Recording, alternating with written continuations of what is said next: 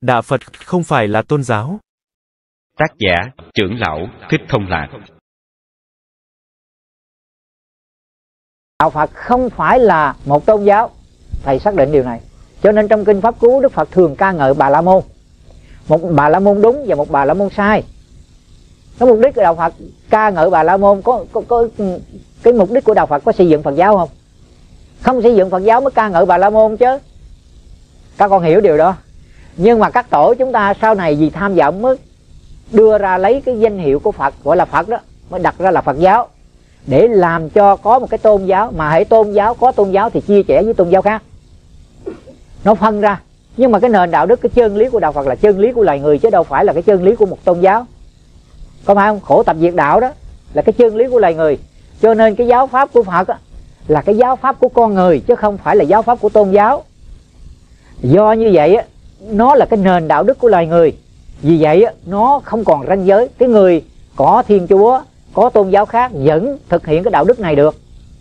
Người không theo tôn giáo nào hết cũng thực hiện được. Chứ không khéo, người ta nói đạo đức này là đạo đức của phật giáo. Phật giáo tu chứ còn mình không có rớ tới cái này. Cái này của phật giáo. Nếu mình rớ tới nó, mình bị tôn giáo là sao? Mình phải theo phật giáo chứ gì? Cho nên phật giáo không có ranh giới đó đâu.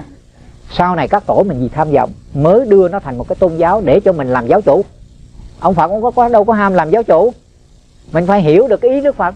Cho nên trong kinh pháp cú đức phật những cái bài kinh bài kinh ngắn mà đức phật xác định bà la môn đúng là bà la môn sai. Nói cái tâm vô lậu là bà la môn chứ không có gì hết. Nghĩa là ca ngợi một bà la môn một bà la môn đúng.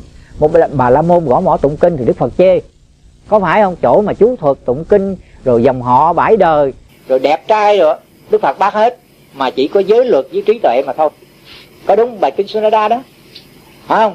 Thì các con thấy rõ ràng là đức phật dựng lại cái đúng mà dẹp cái sai của bà la môn để trở thành bà la môn đúng. Chứ đâu có nói rằng phật đâu. Đâu có nói ông phật này giới luật hoặc là trí tuệ đâu, mà nói bà la môn. Phải đúng không? Như vậy bây giờ chúng ta phải tu giới luật, thì tức là chúng ta bà la môn chứ sao? Nhưng mà bà la môn đúng, nhưng mà bà la môn đúng là mọi con người chứ không phải là bà môn nữa. Chúng ta phải hiểu, đâu ông phật ông đâu có dựng cái bà la môn làm gì nữa. Ông bắt bà la môn người ta muốn sạch hết rồi ông dựng lại những cái đúng cho loài người để mà chúng ta thực hiện được cái sự giải thoát cho chúng ta. Cho nên mọi người đều thực hiện được. Thầy ước ao rằng tám cái lớp học này và ba cái cấp bậc học này là của loài người chứ không phải của phật giáo nữa. Của chung hết. Những người nào đến với cái cái cái cái cái, cái đạo đức hễ có mặt là con người thì phải học. Nếu không học đạo đức này là một con thú vật. Có phải đúng không? Chúng ta là một loài động vật chứ gì? Nhưng không đạo đức là con vật chứ gì? Con vật có đạo đức không? Không cho nên vì vậy. Chúng ta là có người, phải có đạo đức. Đạo đức làm người. Rồi chúng ta bước qua một cái giai đoạn để vào dòng thánh thì chúng ta đạo đức làm thánh. Thì như thế nào?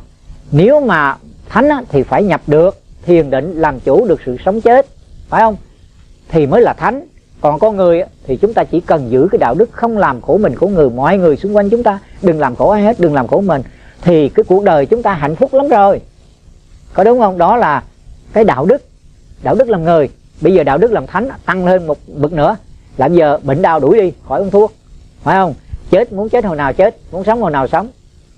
Kéo dài tuổi thọ thêm bao lâu cũng được. Phải không? Còn sanh á thì không có sanh giàu ở chỗ mà thai sanh thấp sanh nõn à, à nõn sanh mà sanh giàu chỗ quá sanh. Hợp duyên lại tạo thành một con người thiện hoàn toàn đẹp đẽ.